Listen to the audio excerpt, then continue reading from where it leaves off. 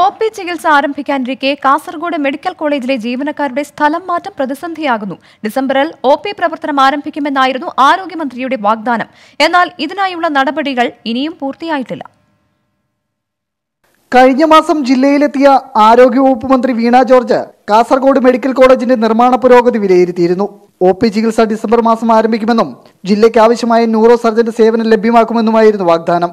എന്നാൽ നിലവിൽ മെഡിക്കൽ കോളേജിൽ നിയമിച്ചിരിക്കുന്ന സ്റ്റാഫ് നഴ്സുമാരിൽ പതിനേഴ് പേരെ സ്ഥലം മാറ്റി.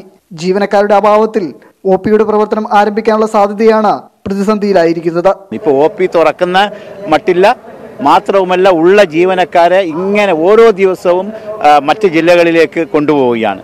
ഓരോ ജിയോ പുറത്തിറങ്ങുകയാണ്. ജീവനക്കാരെ മറ്റ് ജില്ലകളിലേക്ക് പറിച്ചു നടുകയാണ്.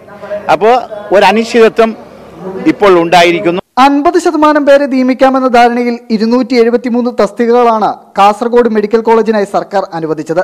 ഇതിൽ ഇരുപത്തിയെട്ട് ഡോക്ടർമാരും ഇരുപത്തൊമ്പത് നഴ്സുമാരും ഉൾപ്പെടെ എൺപത്തിനാല് പേരാണ് നിയമനം നേടിയത്.